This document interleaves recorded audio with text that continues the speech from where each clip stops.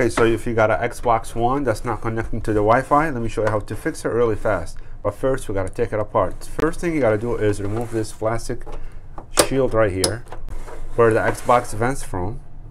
You can use a plastic tool opener or a flat screwdriver. Just go ahead and pry it open just like that.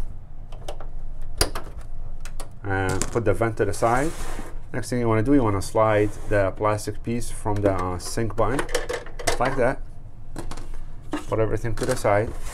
Then what we want to do is get your plastic tool opener or a flat screwdriver and put it between these two housing right here.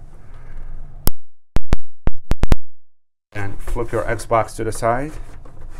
Then we're going to continue prying all the way to the back of the Xbox. Next, lay the Xbox down. And should be able to lift it back up just like that.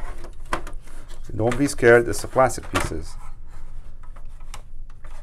If you want to, you can put uh, something behind the housing so the uh, power button cable doesn't come off, just like that, just like just like that. Next thing you want to do, you want to remove the Wi-Fi circuit board.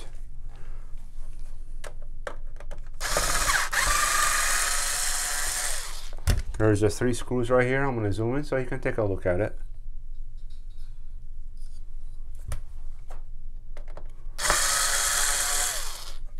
Actually, there's only two screws.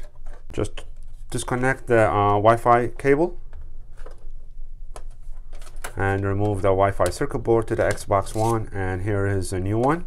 If you need a circuit board just like this one, I'm gonna link it in the comment below so you can go ahead and purchase it.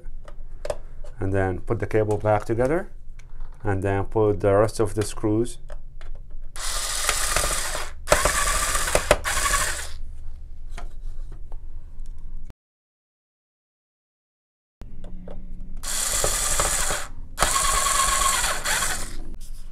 Now we have to close the Xbox back together. All you have to do is flip the plastic housing just like that. And make sure, I'm going to show you something, make sure these plastic clips align with the bottom clips so when you close it, close it in an angle. And keep holding on this side so it doesn't get loose. And once you feel like it's aligned, just go ahead and press down. Now everything is closed. And then flip your Xbox upside down and make sure you don't forget to put the sync uh, plate, the controller sync plate to the Xbox One. Just like that.